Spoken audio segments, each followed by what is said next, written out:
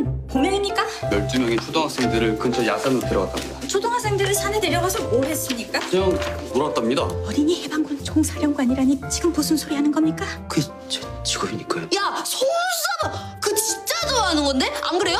오늘 방구뽕 씨 얘기 많이 하시네요. 방구뽕 씨는 좋겠다. 어린이들은 이해하고 있어요. 방구뽕 씨를 이해하지 못하는 건 어른들 뿐입니다.